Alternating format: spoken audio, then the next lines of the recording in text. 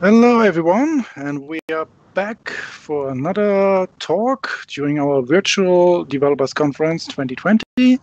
Um, I'm your host Joki, and with me is Shevin. Hello. Shevin, what's what's up on the menu? Who are we going to welcome now? Yeah, next on the menu we have Cobus, who will be cooking some automating your cloud stuff about what are the building blocks for cloud automation? That sounds great. So Cobus is already in the line. Hello, Cobus. Thank you very much for joining and being part of this um, event. And please introduce yourself and uh, okay. let's go. okay, cool. Um, yeah, so just quickly before we get to a bit about me, uh, today's talk is going to be focusing on how to automate your cloud and specifically your cloud journey around that and looking at some of the building blocks of things that I've seen over the years that people tend to need to automate, which they often don't because it does take a lot of time. So, firstly, a little bit about me um, before we kick things off. So, I am a senior developer advocate with AWS, um, and before that, that I and I stopped counting there because I'm now not a, no longer a developer. I'm now a marketing person apparently for my sins. Um, one of those fun things. Um, so I was a developer for 15 years. Did a lot of uh, various different development: Java, C Sharp, Linux, Windows, uh, mobile development, uh, and then started doing quite a lot of automation in about the last five six years because I found that uh, developers don't want to actually you know automate their code. They just want to write the code and get it out there. Uh, prior to joining AWS, um, I actually was a customer of AWS for eight years, building multiple different types of systems there, from fintech um, to money management systems, uh, some healthcare products, etc. Uh, you can see all my social handle details there at the bottom if you want to follow me or ask me any questions afterwards. I will touch on that a little bit closer to the end.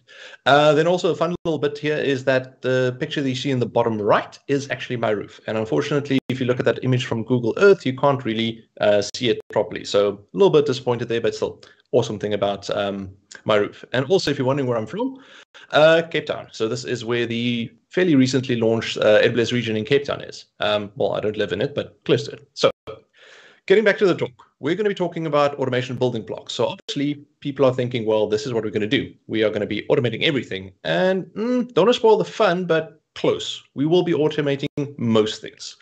But before we get there, let's quickly take a look at what we will be covering today. So firstly, I just want to touch on exactly or a definition of DevOps um, because there's a lot of confusion around that. And firstly, automation doesn't mean DevOps. Uh, then we're going to go into infrastructure as code, some of the concepts around that, and how that actually plays into this um, strategy of your building blocks for your cloud and how you should be thinking about automating and approaching infrastructure as code.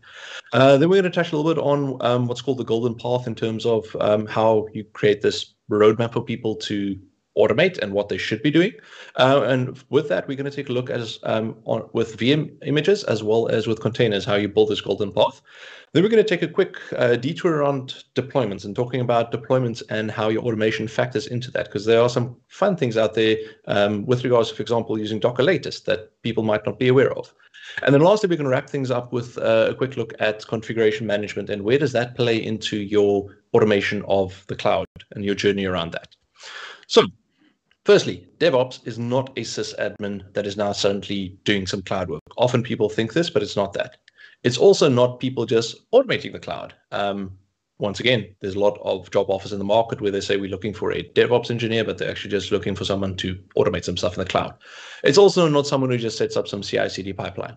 So the best um, definition of um, what DevOps is comes from a talk that I saw way back in 2016 by Dan Moore, and he used the acronym CAMS, um, which is DevOps is not a tool. It's not a um, it's not a you know specific job description. It's more a philosophy slash culture, um, and the C stands for the culture. So companies adopting um, rapid change. Uh, enabling the developers to actually spin up their own infrastructure, configure their own infrastructure, own it, etc. Uh, a big part of it, which a lot of people are familiar with, is automation. And the reason automation is important is that we've often seen documents like this. And I've actually worked at companies where there was a playbook to set up a server. And it literally had 600 individual steps that were documented one by one in a Word document. And your responsibility when you set up a new server was to follow this literally step by step. And if you find a mistake, you had to update the document and then also have someone else work with you to validate that that change is correct. Now, obviously, that doesn't scale. So think about automation. Uh, then also a very important part about DevOps is measuring things because you don't want to be like this person where you say like I made things faster and faster by this much. Wave your hands a little bit. And uh, yeah, the reason for this is that you want to uh, provide value to the company. So let's say you go to your manager or boss and say, listen, I'm going to spend some time to automate this one section because I want to make things faster. And they go, okay, cool, but how much faster is it going to be? They're like, no, no, just trust me, it's going to be faster. That is a little bit hard to sell. Whereas if you've done this before, you can say, well, currently our build takes uh, 37 minutes to do. Um, and I'm able to take this down to probably about one minute or 30 seconds if I can get, do the following things. Now, now that's easier sell because now you've convinced your um, manager or boss saying, listen, there's a, a, tangible, measurable value. So they can see the value in this, and that's how you get things done. So always make sure that you're able to measure, because also if you don't measure, you can't improve and you can't know what the improvement was. Because, uh, like I said, hand waving doesn't work that well here. Uh, then the last part of the sharing portion, we actually share your knowledge and learnings with the rest of the team and the organization. Um, and just a nice way to show this is for those not familiar with XKCD, um, it's online cartoon by a mathematician and lots of interesting wisdom in there. And we are actually going to be using quite a few of these slides today. So this slide specifically, what it boils down to is that when somebody asks a question and say, I don't know about, know about this, you go, instead of going like, what's wrong with you? You're stupid. Everybody knows this that's a bad experience. And then we are training people to say well i don't ask questions because people you know snub me and i don't learn anything because they're just rude. Instead saying oh let me take this opportunity to teach you because it is so much fun. And just quickly for those not familiar with this specific uh, diet coke and mentos things here's a quick little video to show you what happens. Um, basically all the gas comes out in one go and you get these massive explosions. So you even have people using this to do um, large demonstrations and have a lot of fun. But that's beside the point for today, except that it's fun. So, what is our goal with automation? Because um, we still haven't answered that. Well, an easy definition is that we want to have our developers be this happy. So they should be happy to spin up new infrastructure. They should be happy to um, build a new service and roll things out. We want them happy because with automation, they can be happy. So we're back again. Are we going to be automating everything? Um, no. The reason for this is once again XKCD, is that this is a nice um, joke around how people think automation works. It's like you're going to uh, automate something because it takes a bit of time, and you spend a bit more time than you would, let's say, on, on the start of the task. And by the end, because it's automate uh, automated, you now have got so much free time you can do all those other things that you never get to. And the reality is, as you can see at the bottom, you often end up spending a lot more time automating things than you do on the actual task itself. So third XKCD for the day. Yes, we're going through this quickly. Well, at least this talk. I don't know if others have actually used it today. Um, this is a very, very handy chart that um, uh, the author actually created. And what this chart does is, if we look at a specific cell over here, it is a comparison between how long does a task take and how often do you that do that task. And then if you think about the next five years. Now, just quickly take a pause here. And this is normally where I get audience interaction saying, hey, who's written code that's been running in production for more than five years? Um, interesting response there is often people don't realize that the code won't run that long. Your code might not um, run for five years. So, automation. Let's say I've got a task that I do daily and it takes me 30 seconds if I spend more than 12 hours automating that task, and if you think 12 hours, that's what, uh, two, three work days, depending on how efficient you are and how much time you dedicate per day on it. Um, if you spend more time than that automating this, you would actually spend more time automating it than you would save over the next five years. Let that sink in for a moment. Five years. What are the chances of whatever it is you're automating right now is going to be out there in five years? Take that into account as well. Similarly, for example, if we look at something that you do 50 times a day and it only takes a second, and these are things that often kill us, which is something you constantly do um, by hand and you can automate it somehow. If you do this 50 times a day, well, you should be spending at least a day, or you can spend a day on it in terms of the amount of time that you'll save. And then also, obviously, something you do uh, that takes five seconds that you do 30 times a day oh, uh, sorry, that you do once a day, that'll allow you to spend two hours on it, which once again, saving five seconds once a day is not that much. So, cool. What are we going to talk about? We are talking about building block automation. So, a big part of that is automating your infrastructure. Um, the reason is that a lot of systems are built on the cloud nowadays, and old days where you had a physical server, and um, I recently learned learned the term box hacker um, is no longer the case. So, um, you want to be able to spin these up quickly and easily. So you want to automate that. So this is where infrastructure as code comes in. Now, you might have heard this term before, so I just want to quickly walk through what it is and what it means, um, and also a little bit of history, uh, because not everyone is familiar with it. Well, what it is, um, is as a mechanism to actually allow you to define your infrastructure using normal code. So text file, you commit that to some kind of repository, someone reviews it, etc. Now, initially, when the tooling for infrastructure as code came out, it, they were written in an imperative language. So what we mean by this is that you give the tool steps. So step A, B, C, and D. Do them in this order and only this order and start at step A. Um, that's a problem because what happened if the system changed since you initially planned to run step A? So remember that long uh, 600 uh, point installation doc? What happened if something like the installation process changed or they added a step to the installation? That's where things start breaking. So imperative, yes, it was a good start. It helped us, but it didn't really solve the problem. And what we are seeing now with tools nowadays is that they use the declarative language. So rather than saying do this and that, we say, I want this. I want a VPC. I want five um, web servers spun up behind a load balancer.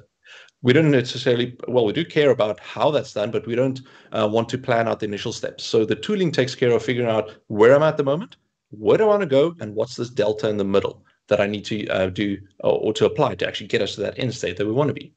So if you take a look at, for example, a typical VPC layout in AWS, this is a VPC in a region. We've got three availability zones. Each AZ has got multiple subnets, private and public. There are routing tables. There are private routing tables, NAT gateways, etc. These are a lot of components. And where infrastructure as code makes it a lot easier is that instead of clicking and setting all of this up by hand, because this will take you a while, and yes, I know because I initially did this by hand, um, you use your infrastructure as code tooling. So this is a code sample from AWS CDK. And if you look at that line, and that's the only one I want you to look at, is that that single line that you see there will set up the um, the infrastructure that I just showed you. So this is where infrastructure as code really starts becoming powerful. And you can use the different tools. There are a lot of different tools. For example, Terraform. Um, I'm currently doing a lot of videos on YouTube on Terraform because it's um, a product that I used uh, for about five, six years before joining AWS. Also, infrastructure as tools, slightly different angle. Um, there are a lot of different ways you can actually do infrastructure as code. So go have a look and play with those tools. Because once again, here you've got a chunk of code, and this actually does all of those steps that you had before, simplifies your life. So, in summary, quickly, what are the goals with infrastructure as code? Uh, the first one is that we want to make changes repeatable and predictable. Uh, the big part here is that you definitely don't want to on a Friday go, hey, I'm going to make this infrastructure change to our service, and uh, you know, I hope this works that's not going to inspire confidence in your abilities or anyone else. Um, or you go, hey, I'm going to roll out this change and I hope we documented all the changes uh, and the steps between dev and production. Also, not going to leave you with a lot of confidence and people where you can say, well, listen, we've done this on dev. It's going to be the exact same on production. We're not worried. That's easier. So, on that point of getting into production, why not release your infrastructure code changes, uh, your infrastructure changes exactly the same way as you do your code changes? We're very comfortable with the, you know, the the loop for getting our code out, and we'll take a look at it now. Um, why not do that for our infrastructure? And then lastly, and one of the best um, benefits is that your environments look the same in terms of the shapes. I'm not saying that production and dev are exactly the same because in production you might have 50 web servers and you don't want to spend that money for 50 web servers in development if you're not going to use them. So they're the same in the sense that there's a load balancer, they're web servers, dev has two, production has 50. That's the difference. But that's they still look the same. So you don't have this weird difference between dev and production where you hope you know what you built in dev actually ends up working in um, production. There's another side benefit, and this is an interesting tweet I see. Unfortunately, I couldn't find the original source, but basically the tweet um, read that developers love great documentation. Developers also love creating great documentation, and then ends it off with only one of these statements are true. And this is fairly common. We all love great docs, but we don't like writing them. So taking us back to that initial slide or that slide that I had earlier, whereas imagine you've got someone joining the team and they're asking you, how do I actually make this change in terms of this infrastructure or why is this piece of infrastructure here i don't understand why do we have a queue with a dead letter queue with a timeout of five minutes etc wouldn't it be awesome if you can just tell them hey listen our infrastructure is code and therefore uh, you can see the entire history. Um, have a like you would in the code if you want to figure out what why something happened or why it's being done in a specific way. You can just dig into um, the history and you can actually see how things change over time without having someone to sit down and, and go through them. There's obviously value if you've got specific questions about decisions that you see in the code base um, to sit with them and actually talk. But in general, people are able to actually figure out what's going on because we are very used to this life cycle for code. We build the code, we send out a PR, someone reviews it also on that PR, there are builds and tests that run to make sure that the code actually first can compile or passes the test if it's uh, a non-compiled language. Then we actually get the code out into production with some automated fashion, and then we measure the code for performance and is it working the way it's supposed to. And then ultimately we start this um, cycle again by looking at how we can improve this. So let's say the code is slow, we can improve the art, uh, the algorithm, etc. Why aren't we doing this with, a our infrastructure? Um, well, you should be doing it for your infrastructure because when you get to this point, you can start rolling things out very quickly and safely. And the benefit here is that you start doing it in smaller and smaller steps because you're no longer wasting all of that time uh, automating um, this specific process, which is one of the major building blocks of cloud. You constantly change your infrastructure and add to it and make changes. And that's a benefit of cloud because guess what? You don't own the hardware. You can uh, swap things out, change things out. You deploy one virtual machine, you realize wrong family type. I need something with a bigger CPU. Couple of clicks, or preferably automation, and you're set up. No longer commitment. So think about that. So virtual machines. Let's start talking about them a little bit in terms of how you need to think about them because it's not a case of, hey, I want a virtual machine, click spin up, and we're good to go. No. There are a couple of things you have to think about before you spin them up. Um, and from my experience, um, I've worked at quite a um, large number of different companies over the years, and it's not just like one Linux flavor that people use. It's are we using Linux? Are we using something else? Windows. Um, I've even worked on some uh, what is the system AIX systems as well. So the first question normally crops up is what OS do we use? I walk into a company day one. I want to start building code, but what operating system am I building it for? Is it Red Hat? Is it Ubuntu? Think about that. Uh, how do I patch that operating system? Because remember, old model was we had an ops team, the sysadmins that took over the care of the servers and they made sure everything was up and running there, and um, I don't have to worry about it. But with cloud and with the whole DevOps uh, philosophy, these are things that I need to worry about. I need to know how do I patch my server. Um, then also, which version of Java do you use? Uh, I was in this uh, company at one point where I think we had upwards of 15 different versions because there was, for example, 1.6.1, sorry, 0.01b, and that was validated for a specific package because of the way the software was um, released and the requirements around um, uh, how we built things, had to validate against a specific version, and that was a long process. So we had lots of different versions because we can't just because there's new versions suddenly go through the process of validating everything. So figure out what actual runtimes you use or what do you need installed on it. Then also a bit more um, low level is libraries on the host. Do you worry about OpenSSL versus LibreSSL? And the only reason I specifically at this point in time know about this is that I tried to put some Ruby applications into an Alpine Linux container. And at that point, they're making the switch from OpenSSL to LibreSSL and also learned about the uneven numbers uh, being the unstable ones and spent probably a week or two trying to fix this. So knowing what packages you're dealing with is also super important. And then the fun one always is that uh, what happens when Bob leaves. So you remember that document that's 600 pages long? Now imagine Bob was the one who initially wrote it and there was a mistake. Nobody picked it up because guess what? Nobody actually tested the document. Uh, now Bob leaves. Sorry if anybody's called Bob. He's just my go-to um, person for that I use in presentations. Um, you want to worry about that. So you need the documentation of how to actually build these VMs because often VMs are built by hand. Uh, you spend an hour or two or three clicking through things, setting them up. And then the fun one, and I'm sure a lot of you have dealt with this before, is that what do we do when there is a CVE? Um, so these are um, vulnerabilities that get listed. Um, and generally, some of them are quite scary. You have to patch it on the day that they're released um, because otherwise somebody can compromise your system. So now you start going like, Ooh, how do I actually fix my you know host because I need to worry about this.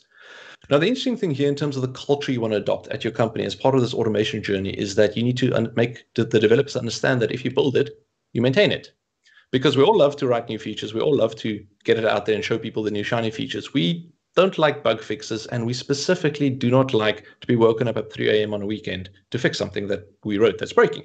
Now, once again, traditionally, that was the ops person's problem. They get paged at 3 a.m., they have to try and fix it, which also meant that they started pushing back when people want to send out new code, especially on Fridays, because guess what? If it breaks, it's my problem, not yours, who, um, uh, who's the person who wrote this. Um, initially, or sorry, additionally, if you write code and you know that if something breaks because of this code on a Saturday at 3 a.m., you're going to be the one that's paid. You probably will t- approach this a little bit differently. You might have more tests. You might be a little bit more cautious and think about does this work or not versus just like here's a code, poof, YOLO.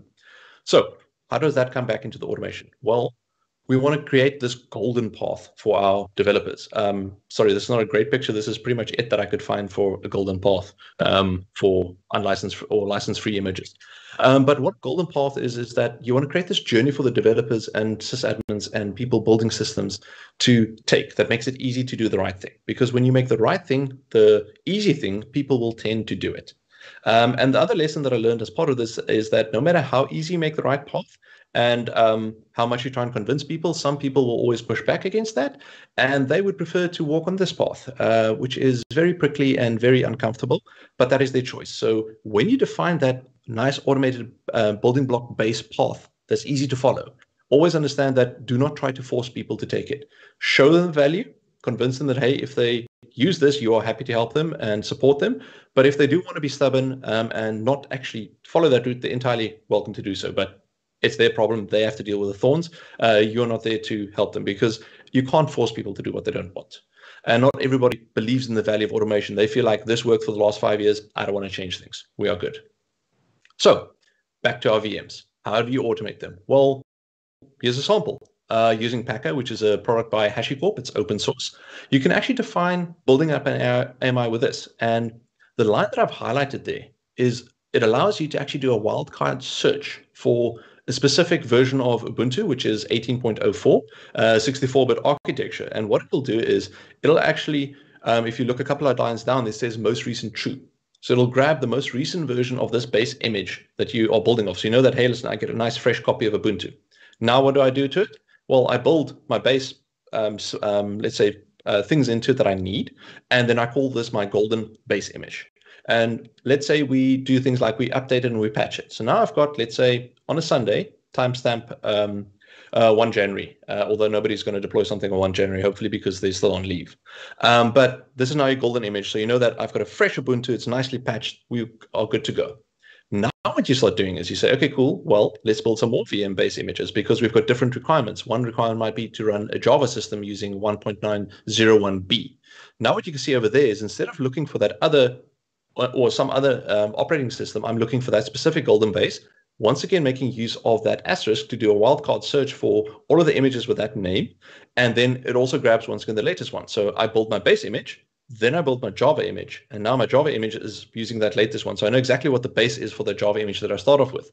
Um, and as you can see over here, I'm passing in the um, version of Java as a parameter because I have actually built my uh, automation to understand how which uh, or how to install different versions of Java using Packer.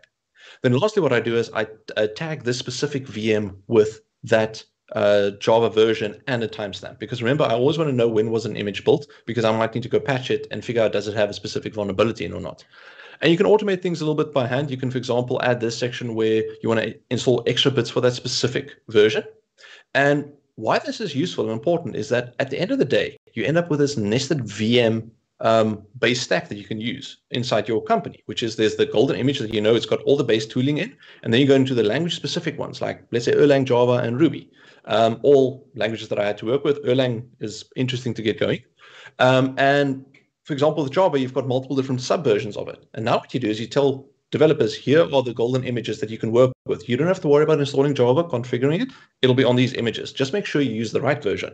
So this is a very easy way for them to pick the right version with all the right tooling and patching, etc., installed in it.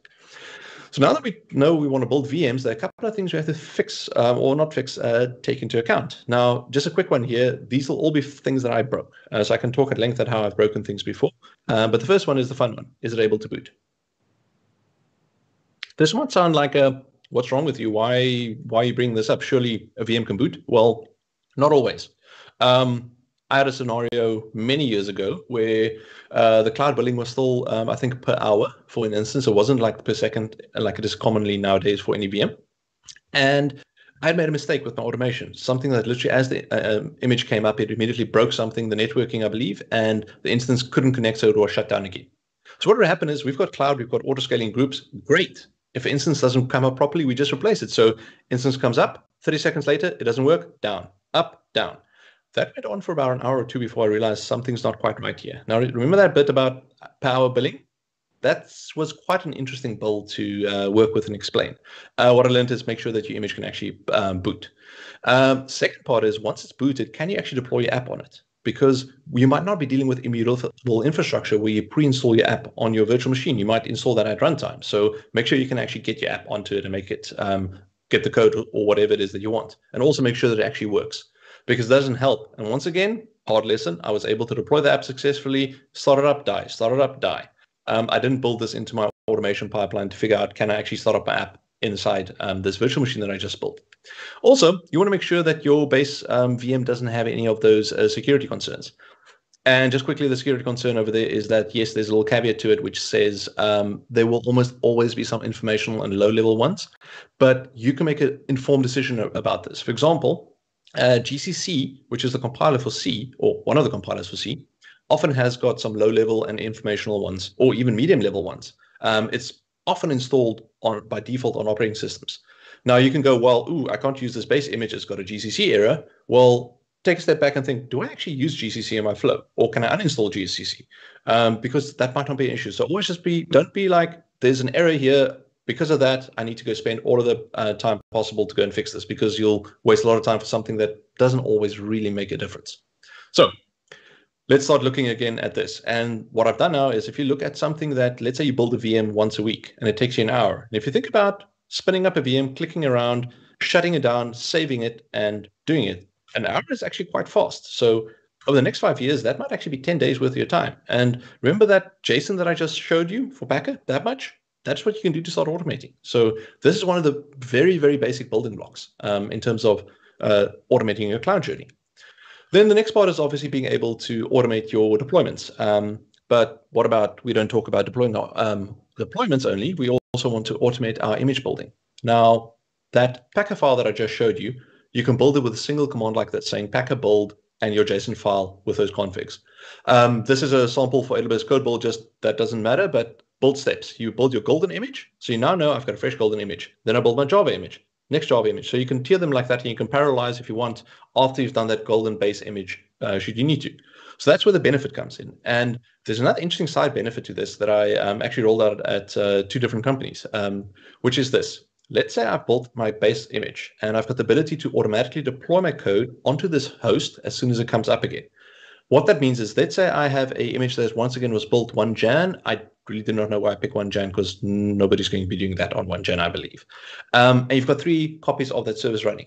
Now you built a new golden image, and this one is built at the end of Jan. And now we want to actually update our entire fleet. Now imagine having to do that by hand. That'll take a bit of time. Well, what you can do is you can scale up. So double your capacity. Because what happened now is you changed your auto scaling configuration to say, here's the new image that I want to use. Immediately double your fleet capacity. So we now have six instead of uh, three. And then what you do is afterwards, if you configure auto scaling correctly, you can actually say terminate the oldest ones first, which means it terminates those old patch boxes first. So why this is important is remember those CVEs? let's say you come in on um, the Tuesday morning, you've already baked in just the day before you rolled out the latest version, and now there's the CVE that has to be patched today. The steps you take is one, build your new golden image and make sure that it's patched on there. Then build all the subsequent images for all the different language runtimes that you have. Then scale up, scale down. You're done. You can sit back, have your coffee, and you watch your fleet flip like that into the new image. You've patched your entire fleet without having to SSH into the host, worry about did I configure this correctly in my um, uh, config management tool, etc. And speaking about config management tools, this obviously comes up like surely installing the software as well as the packages and patching things are config management tool responsibilities, right? We've got these tools, Chef, Puppet, Ansible, Salt. There's a whole host of these. And they are definitely still useful. There are still scenarios that I use them. The challenge, however, is remember the scaling scenario that I just told you about, is that let's say you have a fleet of servers and one of them something happens gets taken out of commission and we spin up a new one now what happens is that one was spun, spun up on a different day and when your configuration management tool runs to install the base package or um, or the packages that you've pinned so even if you pin your version that version might not be available inside the external repo anymore at this point in time Because remember these tools a lot of them were to solve the problem before cloud where we've got hosts where they are very long lived and we want to try and manage configuration drift um, they are very, very good at that. Uh, and that was what they were built for. Whereas in the cloud, being able to replace a server, you can do in 30 seconds. So the the uh, the uh, there's been a shift in terms of what to focus on and how to handle this. Because what I do now is instead of trying to configure my server when it boots up, I just go, well, here's a prepackaged one with everything I need and know exactly what it is. It'll always come up in the same way, which means that when it goes into service, you could have some problems. So this once again is the point where some people start poking but you know we don't have to deal with this anymore we you know we've got dockers we've got containers and uh, just quickly this is a quick history lesson for those just to reflect where docker comes from i know not everybody is fully aware of it but it started off with people dealing with the problem of how to get code to production And then they solved it very easily, like this. So kidding, obviously, just to make sure in, uh, in case somebody uh, thinks this is serious. But what it boils down to is when the code works on my machine, how do I make sure that it also works in production? And that's where Docker comes in and containers come in because they really, really help with that. Now, before we all go like, yay, containers, let's move everything to containers, um, there's a bit of, you know, nuances around that. And I found this fun Dilbert um, cartoon a while back because um, it like sums up and you can replace kubernetes here with a lot of different open source tools or um, any kind of tool especially if someone's trying to sell you. Um, let's say if someone's trying to sell you a devops tool yeah think about just why what are they trying to pitch you? Because they generally try and frame this problem and this thing solves it exactly. So apologies for that if you hear my dog is a little naughty at the moment. Um, but what it boils down to is that when you start doing these new tools, often it feels like I've got a hammer. I know how to use this hammer. Let me use it on every single problem. And not every problem is a hammer problem, I'm sorry to say. Because as this person illustrated, and this is all the way back in 2017, um, 24 April, is that Kubernetes, yes, it's popular. Yes, it solves a lot of problems. Um, it's currently the golden hammer for everyone. It's like, oh, I've got a problem. I want to run a container. I want to do microservice. Let me, boom. No, think about what the problem is that you have. Because if you think, for example, like um, a company that does a lot of packages, fairly big one, um, I work for them, you might know them. This is what a warehouse internally looks like. This is not what day one was. Day one looked like this. This is the website from Amazon.com back in the day when it launched. Very basic. Um, it did one thing, it did one thing well.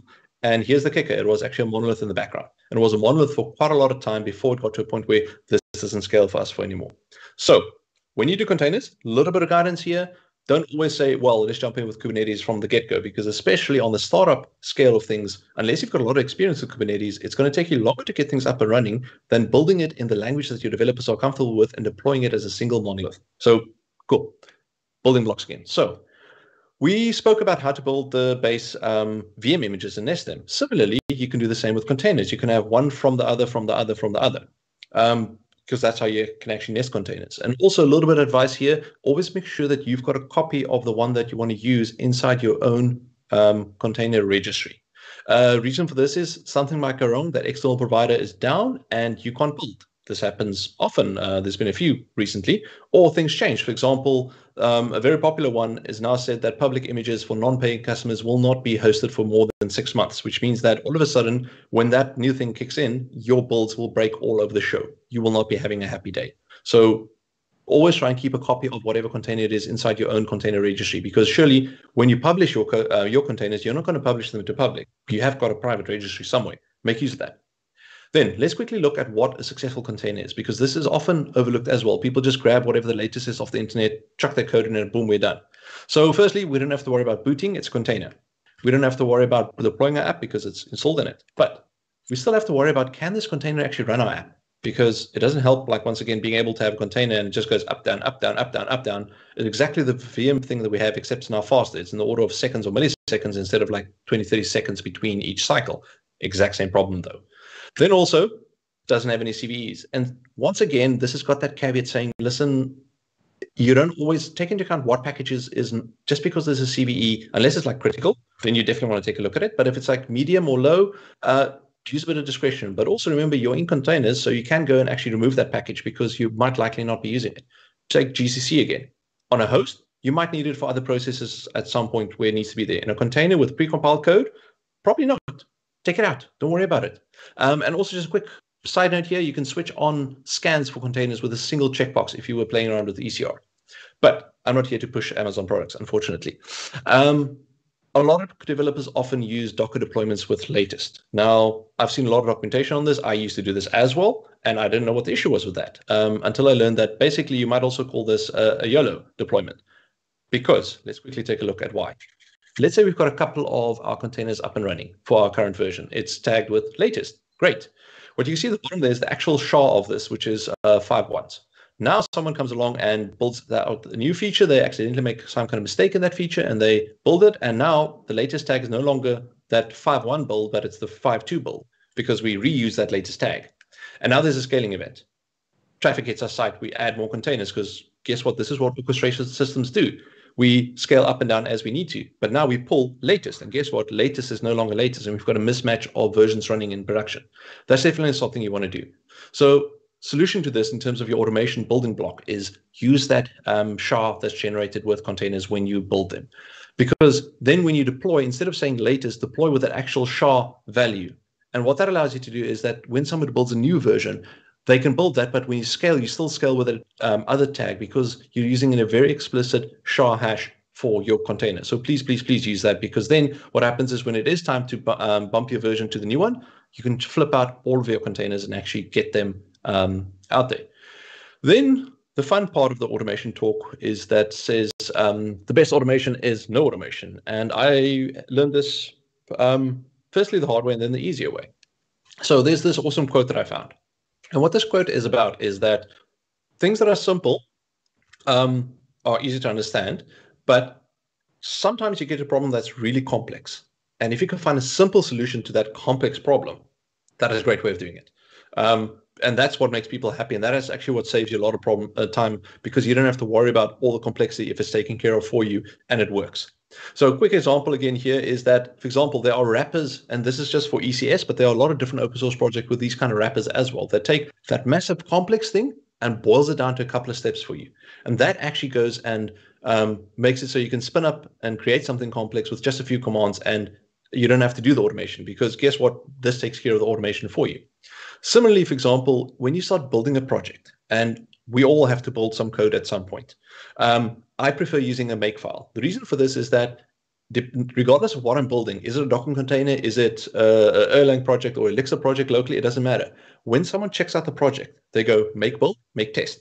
And that allows them to see, listen, can I build this project? Can I test this project? And all the complexity is actually built into that. So they don't have to worry about that. They'll get immediate feedback saying, sorry, you don't have Erlang installed, or sorry, you don't have Docker installed, etc. And they can then go and solve that problem. But to get started, it's very simple and the behavior is easy. You do a build, you do a test. This is the side effect that developers will actually run this before they push their code. And the reason this is important is that I, at one point, worked with a person who had very weird working hours. He would start at 5 a.m. in the morning and then work till 3. And he was one of the people that when 3 hits, boom, I'm out the door, cheers. Um, and often it happened, it was a Java project. He would commit code at 1 minute to 3, pack his bag and leave, not even checking if the code compiled, never mind if it passed the test. And the reason for this was, well, running the test locally is too hard. Um, it takes too much time, so I'm not going to do it. I mean, my time is here to code, right? I'm not here to, to bug, debug things. Meh. So yeah, make the right thing the easy thing. So using, for example, make files, make build, make test. That's not too much to ask for a developer in terms of the complexity to make sure that the code is working. Uh, similarly, like I said, the testing part. And then uh, what you can also do in terms of making the right thing, the easy thing is by making use of blue-green deployments because by building this in, and there's a lot of automation that you don't have to worry about because uh, often the cloud providers will take care of this for you. Is that saying, listen, I've got an old version running, which is the blue, so first column. Then what happens is I bring up a new version, which is the green one, but no traffic is going to it. Then what I do is I flip my traffic to that one, make sure that it's working. If it's working, I leave it and tear down the old blue one. If it isn't working, I just flip back to the blue one.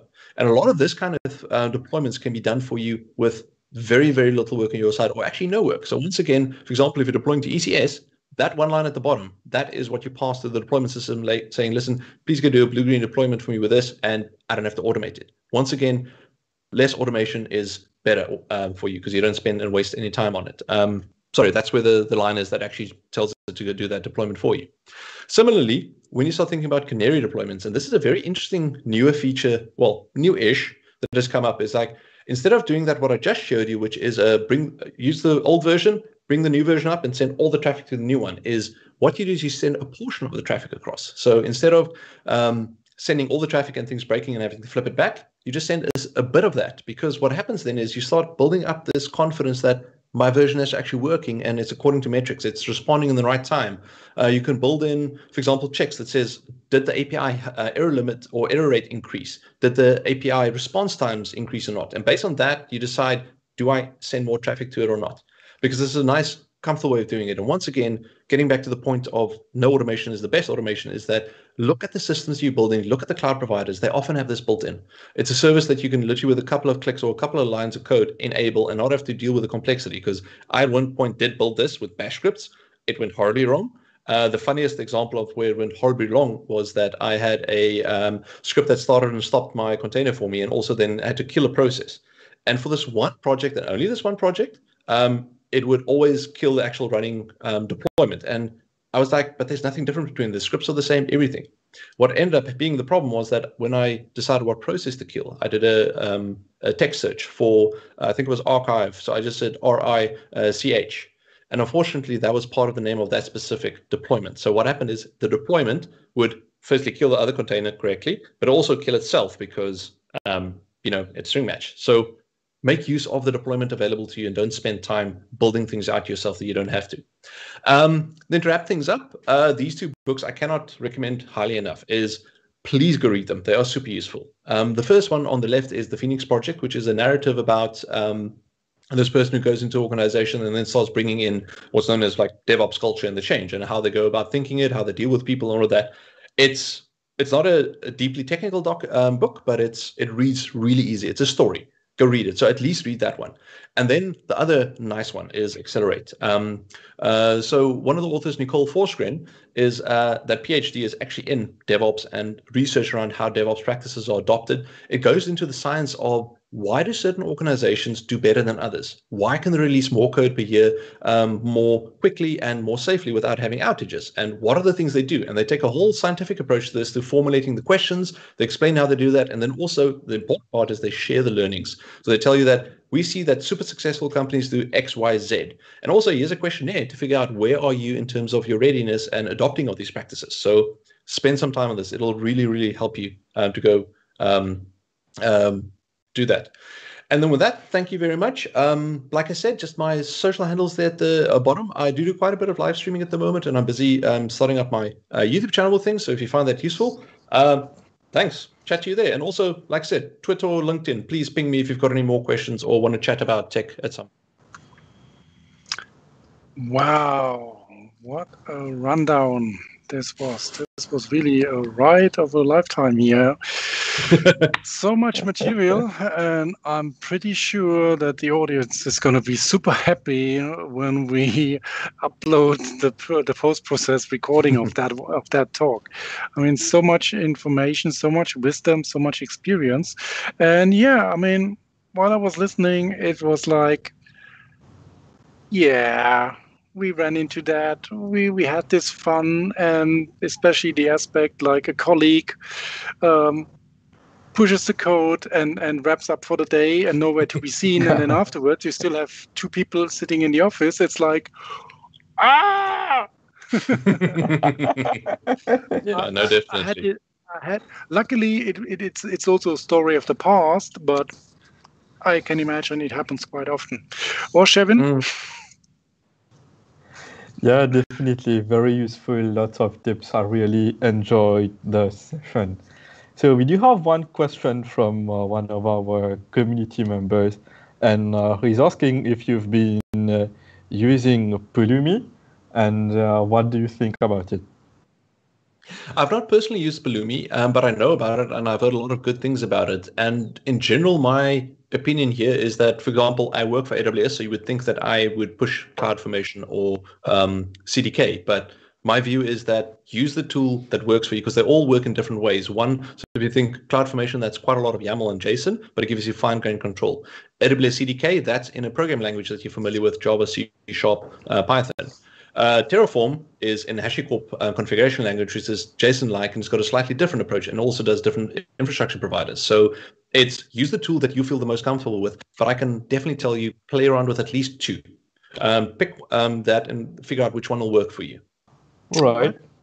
Good. And I also like when you mentioned that like monoliths are monolith are okay. You need to always go through microservices and go through all the complexities of mm uh, container orchestrations and things like that.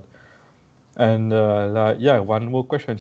Yeah, so what would be the factors that you would take into consideration before deciding like whether you would go for the monolithical approach or like a microservices approach?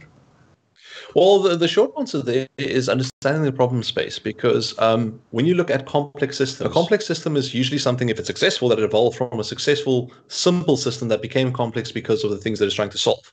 So if you know what where you're heading, so let's say you know you're going to be building this big thing and you've got a team with people with experience building a microservice architecture and all the complexity that comes with that. Because remember, all systems have complexity. It's either in the code with a monolith or you're pushing it out into the infrastructure and how the services interact. But the complexity doesn't go away. It's just different.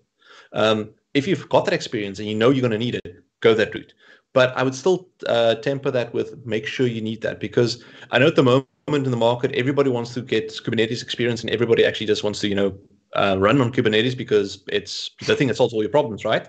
Um, Kubernetes is incredibly complex. Um, so yes, it solves some certain problems very, very well, and it's very well suited to those problems. But always just make sure you have that problem, because remember, spinning up a monolith and building, uh, setting up the pipeline to deploy it can probably be done in 10 or 15 minutes. And just spinning up a Kubernetes cluster is usually longer than this. And then you have to deal with, okay, I've got one pod up, where's it running? All the other fun that comes in. So think about what you're building. Um, so the classic answer, it depends. Yeah, indeed. I mean, it depends. And, um, you know, in, in my personal case and experience is often the case that um, you're not starting on a fresh development. You have to deal with existing systems that customers come to you. It's like, uh, we have this um, whatever black hole of uh, web applications with I don't know what support console applications, and they come to you as like, let's do a lift and shift and do some minor magic tweaking, and suddenly everything is cloud ready and fully operational. Um, what would be your advice uh, in regards to that? Um, for that one, it's it's it's a pattern we see very often. Um, often people say lift and shift directly to the cloud, and you know we're now a cloud system. Yay! Uh, no, no, no, no, no. You just took on some different aspects because remember, um, a famous quote by Werner Vogels, who's uh, Amazon CTO, is that everything fails and it fails all the time. So if you haven't had a cloud VM just disappear under you, you haven't lived in the cloud properly. And trust me, that will happen at some point. It's guaranteed uh, which means if you was on-prem, you're used to having a backup server and being able to just flip over. Now, unless you set that up correctly in the cloud, that's not going to be the same experience. So get it into the cloud so you can actually use it. First thing then is actually to take that instance and create a snapshot of it as is. So you know that if I need to, I can spin this up in this exact moment in time. Then start hmm. looking at how do I build up that base image so I can actually get there or because they're different paths, you can then say, okay, cool, we want to skip directly to containers. So let's start and rebuild the app inside a container and get it up and running in parallel. And like with a canary deployment, you can send uh, a copy of traffic to the container, make sure that it actually behaves the way it's supposed to.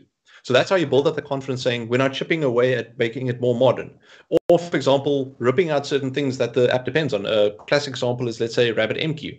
Uh, you can replace that hmm. with uh, Amazon SQS as is almost um, directly, which means that that's one less thing for you to worry about. And you start chipping away at these individual things and start seeing, well, of maybe bring in some um, lambdas to um, run, etc. So don't do big steps because big steps break. Yep, yep, yep. And that's a good, great takeaway. All right, then, um, Cobus, thank you so much for your time um, presenting here at the Virtual Developers Conference. I hope we stay in touch. Um, it would be great to welcome you, probably Amazon AWS, maybe for for next year's mm-hmm. conference. Then hopefully you find the time and uh, health conditions and pandemic regulations allow it, that you actually come mm-hmm. over to Mauritius. That would be fantastic. And um, again, thank you so much and um, looking forward to meet and exchange on other matters soon. Okay, cool, Thank awesome, you. and I'll see you um, on Friday for the second session. Yes, latest then exactly, exactly. if you want to, if you want to promote it shamelessly, come on, give us your stay for Friday. so th- that that that talk is actually going to be a lot of fun because it talks about resiliency in the cloud, so how things fail and how to think about failure in the cloud. Um, and during the session, I'll also share um, the details of two people uh, that are working and doing a lot of work in that space because chaos engineering is an extreme amount of fun where you break things on purpose to make sure your system works. And it isn't just mm-hmm. about let's switch off a database server in production and see what happens. It's it's slightly more nuanced than that. So it's actually quite a uh, quite a fun talk to think about all the different things that can go wrong and how to address them. Sounds like yeah, a lot of smashing. Forward to that. Hulk. Hulk smash, yes. yes, exactly. cool. awesome. Thank, Thank you. Much. See you then on Friday. Bye bye. Wow, I mean, I'm still kind of blown with all these uh, quick information and samples. I really liked this this uh, metrics about yeah, um, yeah, definitely. decide how much time it takes you and how much to, to actually do the task compared to how much time it will take you to automate it. And uh, I think this is pretty uh, pretty helpful because um, if you know if you only have a hammer everything looks like a nail, which is not the case because you really need to look into it about okay, is it worth your time to to invest into automation? Uh, how often is the task uh, uh, repeated and things like that? And I think this was really a, a great uh, example of of about how to go forward with it. Yeah, and also it's a great, great like metric that we can all use and apply in our day-to-day work to take decisions like whether we need to automate it or, or not. Mm. Yeah, very good stuff. And it's also good to see the like collaboration of someone from AWS jumping in. It's uh, very exciting. Yes, it is. It is. Cheers for now and stay tuned. Thanks.